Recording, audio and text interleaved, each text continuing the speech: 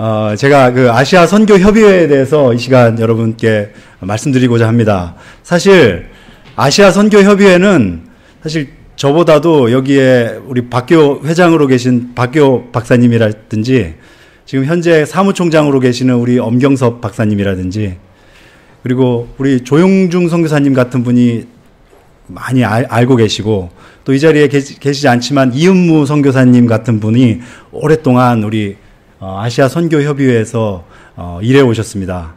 그런데 제가 이제 내년 2016년 마닐라 대회를 준비하면서 어, 이 어, 발제를 하게 되었는데요. 어, 개인적으로 어, 이 준비를 하면서 저에게 굉장히 많은 유익이 되었고 또 그 아시아 선교 운동에 제가 앞으로 이제 사역을 하게 될 터인데 이러한 내용들이 저에게 큰 도전이 되었습니다. 개인적으로 어, 이렇게 발제하게 된 것 굉장히 영광스럽게 생각하고 또 한편으로는 또 부담이 되기도 합니다. 어, 아시아 선교 협의회는 1973년 8월 서울에서 창립되었습니다. 어, 아시아 지역의 선교 협의체로서 아시아 각국의 선교 협의회를 대표하고 있습니다. 현재 회원 국가는 어, 14개국에 어, 달하고 있습니다. 어, 3년에 한 번씩 어, 선교 대회를 개최하여서 협력 파트너십 어, 사역을 하고 있습니다. 어, 대륙 규모의 그 선교 협의체로는 어, 남아메리카 선교 협의회는 COMIBAM 그리고 아프리카 선교회 MANI 그리고 우리 북아메리카 선교 기구로는 이제 미시오 넥서스 등이 있는데요. 어, 아시아 선교 협의회가 그 중에 가장 먼저 어, 창립되었습니다. 어, 먼저 여러분 그 아시아 선교 협의회를 이해하기 위해서는 어, 우리 조동진 박사님에 대해서 여러분 조금 이해하실 필요가 있는데요. 어, 사실 조동진 박사님의 주도로 아시아 선교 협의회가 창립되게 되었습니다. 어, 조동진 박사님은 사실 개인적으로 굉장히 존경합니다. 어, 제가 그 서구 지도자 중에서는 랄프 윈터 박사를 존경하는데요. 사실 우리나라에도 이렇게 탁월한 식견과 일찍이 그 선교에 대, 선교 운동에 이렇게 아주 비전을 가지신 어, 조동진 박사님이 계셨다는 게 참 자랑스럽기도 하고 한편으로 놀랍기도 하고 어, 제가 그렇습니다. 그런데 이 조동진 박사님은 어, 1924년에 어, 평안북도 용천에서 태, 어나셨고요 어, 서국태라는 미국 자, 장로교회 선교사에게 세례를 받고 21살의 나이에 사역자의 나이로 사역자의 길로 들어섰습니다. 어, 1956년 8월에 미국으로 건너오셔서 어, 그 당시 이제 베다니 선교 대학 그리고 에즈베리 신학교에서 선교학을 공부하셨습니다. 어, 우리 조동진 박사님은 비서국권 선교 운동의 창도, 창도자이고 선구자라고 그렇게 불리시고 있고 제3세계 선교 운동의 대변자라고 그렇게 어, 불리고 있습니다. 그리고 1974년 우리가 잘 아는 스위스 로잔 어, 세계 보고마 국제 대회에서 선교 구조의 쇄신이라는 제목으로 플래너리 세션에서 강연을 하셨습니다. 그리고 1975년 8월에 현재 세계 복음주의 연맹인 어, WEF를 어, 창립 회의를 소집하는 일을 주도하셨습니다. 그리고 우리나라에서 최초로 어, 그 당시 선교라는 개념이 어, 우리나라에 있지도 희박한 그러한 어, 환경 속에서 선교학을 자신의 모교에서 가르치 최초로 가르치셨고 그리고 1964년 3월에 어, 국제 선교 연구원이라는 아시아 최초의 선교 대학원을 설립하셨습니다. 그리고 어, 어 우리 그 여기 GP 선교의 역사 가운데서도 나왔지만 1968년 국제 선교 협력 기구 그 당시 이제 KEIMA 어, 후에는 이제 킴으로 개칭을 하게 되는데요. 어, 그 한국 최초의 선교 단체를 조직하셨습니다. 어,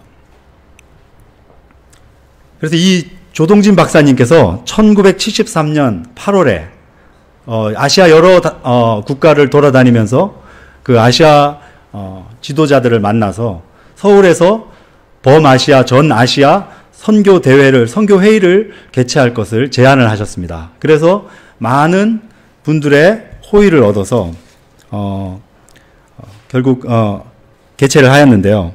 사실 이 선교 회의는 그 아시아 국가만의 그러한 선교 회의는 아니었고 어, 준비위원회 측이 서구의 선교 지도자들과 학자들이 함께 참여해서 과거 세계 선교를 주도해 왔던 서구의 경험과 지식을 아시아 각국의 선교 주체들과 함께 나누자고 의도했던 그러한 대회였습니다.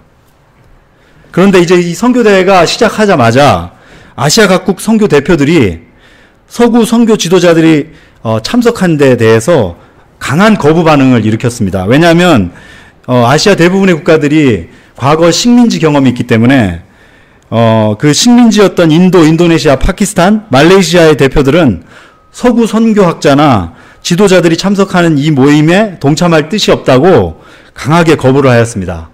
그래서 그 당시 대회장이었던 조동진 박사는 어, 서구 선교 지도자들이 이 대회에 참가, 참관인 자격으로 그리고 학문적인 어, 자문을 구하기 위해서 청, 초청된 선교학자들이기 때문에 우리가 동양과 서양이 함께하는 그러한 선교 컨, 컨설테이션을 만들자고 그렇게 제안을 했지만 어, 그들의 반대는 누그러지지 않았습니다. 그래서 그, 그 당시 대회 명예대장이 대회장이었던 한경직 박사께서 첫 3일 동안은 서구 지도자들과 함께하고 나머지 이틀을 우리 아시아 지도자들만 함께 하면 어떻겠냐 이렇게 제안을 했는데도 그것이 받아들여지지 않게 되었습니다. 그래서 결국 굉장한 이, 어, 이 부딪힘이 있었는데요.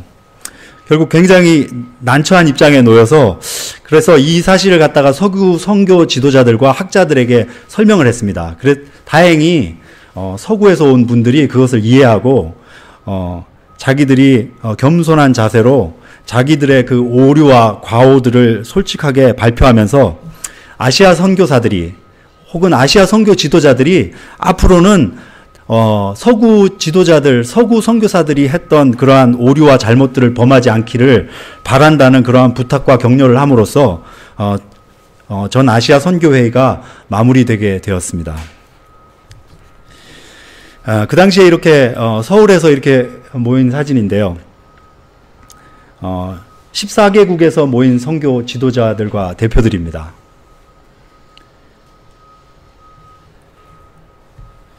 어, 이 선교 지도자 회의가 끝나고 나서 어, 컨설테이션은 계속위원회를 조직하고 다음과 같은 과업을 추진하도록 위촉하였습니다.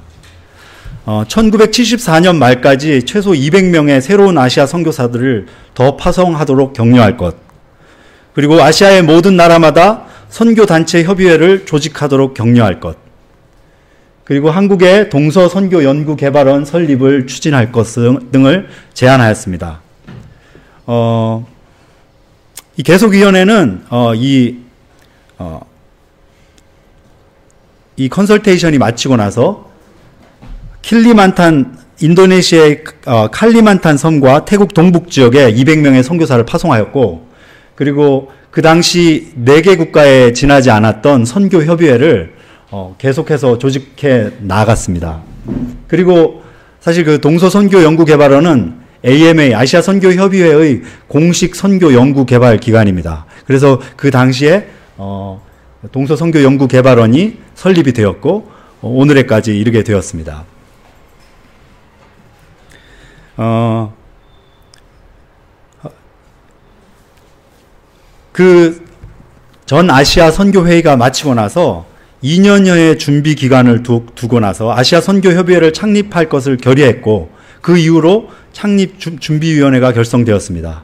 그리고 어, 창립 준비위원회 위원장으로 한국의 아, 한경직 박사님께서 어, 명예회장으로 그리고 핫도리 아키라 박사께서 회장으로 그리고 조동진 박사와 어, 찬두레이 박사가 실행위원장 협동위원장으로 아시아 선교협의회를 어, 조직하게 되었습니다.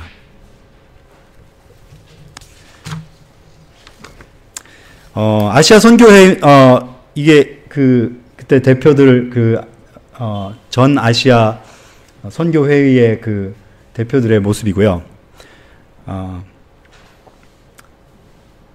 그렇게 해서 이 준비위원회가 2년 동안 준비를 하여서 1975년 8월에 대한민국 서울에서 창립총회를 가짐으로써 아시아 선교 협의회가 공식적으로 탄생하게 되었습니다. 어, 처음 아, 시아 어, 선교 협의회는 다음에 일곱 가지의 목적을 두고 출발하게 되었습니다.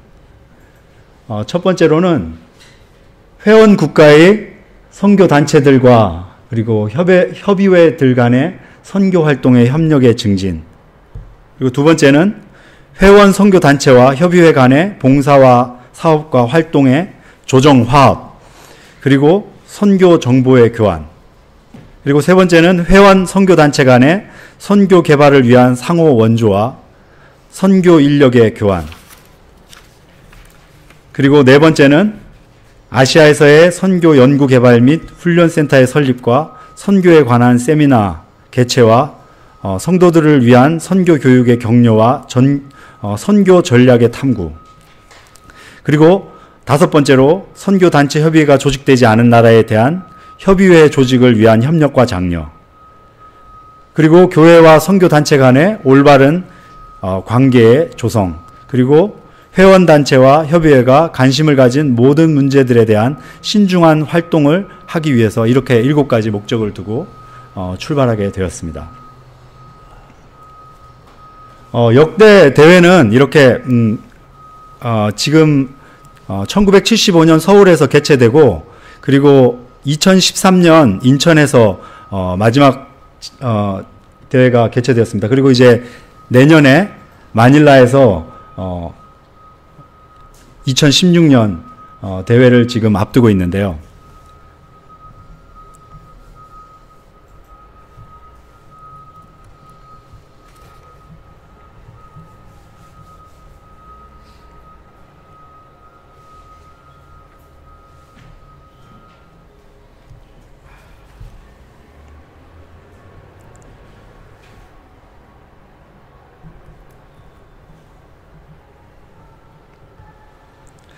어,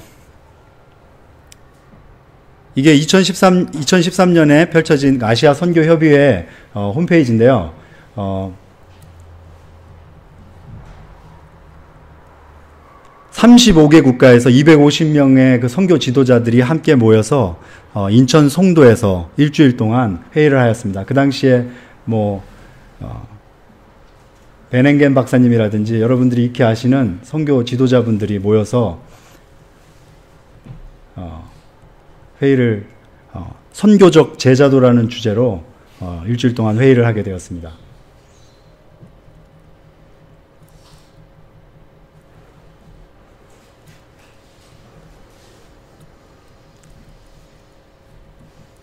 회의는 어, 플래너리 세션과 그룹 세션 그리고 어, 각각 어, 그룹 미팅 등으로 진행되었고요. 그리고 어, 2016년 대회가 이제 앞으로 마닐라 어, 필리핀 마닐라에서 어,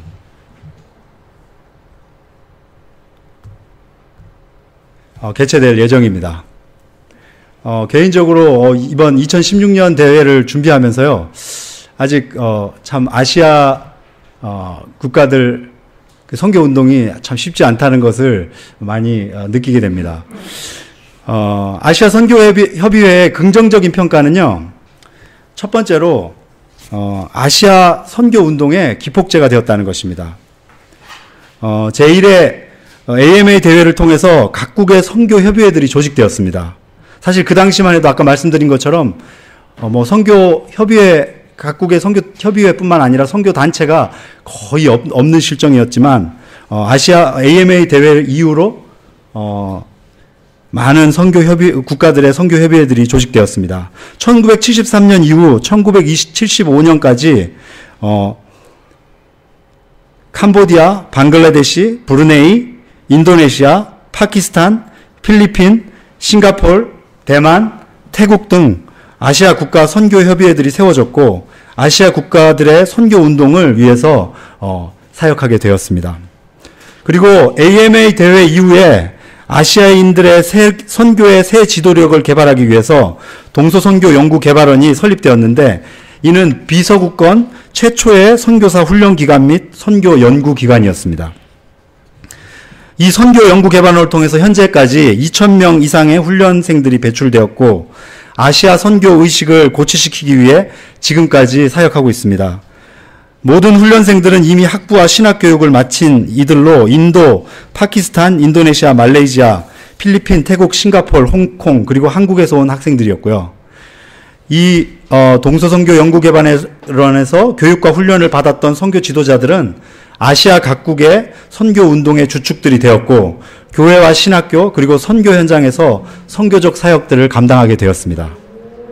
여러분 여러분들이 잘 아시는 하영조 목사님이나 정필도 목사님, 최자실 목사님, 이철 목사님 이런 분들이 어, 우리 어, 어, 어, 이스트 웨스트에서 훈련을 받고 나가신 분들이고 그분들이 자신이 속해진 교회와 또 어, 그곳에서 선교 운동을 일으키시고 선교 동원 사역을 해 오셨습니다. 그리고 인도의 에밀 제바신, 홍콩의 영맨 첸 등이 어, AMA 대회 main speaker로 선정되기도 하고 전체 모임 등을 이끌기도 하였습니다. 어, 그리고 두 번째로는 아시아 선교협의회는 서구권 선교 세력과의 협력, 그리고 아시아인들의 파트너십, 그리고 제3세계 선교운동의 networking에 공헌하였습니다. 어, 1975년 1월 1회 대회 때 AMA 대회에서 키츠먼, 데일 키츠먼, 피터 바, 바이어하우스, 그리고 랄프 윈터 등의 명성 있는 서구 선교학자들이 함께 동참했으며 하기 선교대학원과 동서 선교 연구 개발원을 통해서 선, 서구의 경험과 지식을 아시아 선교 지도자들과 선교사들을 훈련시키고 교육시키는 일에 함께 나눔으로써 좋은 파트너십을 이루었습니다. 그리고 아시아의 그 선교학자인 폴 아리가라든지 전 AMA 의장이었던 미노리 오쿠야마 그리고 AMA 대회 초대 의장을 지녔던 홍콩의 필립 탱 그리고 인도, 인도네시아 선교사 Fellowship의 페트로스 옥타비누스 그리고 인도네시아의 야, 야곱 나우헤이 등은 어, 오랫동안 우리 AMA와 더불어서 그 파트너십 그리고 서, 어, 협력을 어, 협력 사역을 한 그런 분들입니다.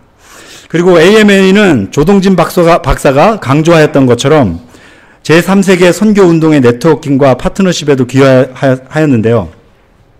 TWMA의 태동에 큰 영향을 주었습니다. 제3세계 선교 운동 어, 어, 1978년 어, 어, 제2차 AMA 대회에서 아프리카 대표로 나이지리아 선교회 총무인 파냐 바바를 초, 어, 옵저버로 초청하였는데요.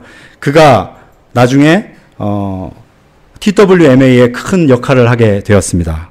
또한 어, 브라질, 페루, 볼리비아 대표 등이 참여하여서 어, 남미의 그 코미밤을 창립하는데 큰 역할을 감당하게 되었습니다. 그리고 세 번째로는요, 어, 아시아인 스스로의 선교 모델을 모색하는 그러한 어,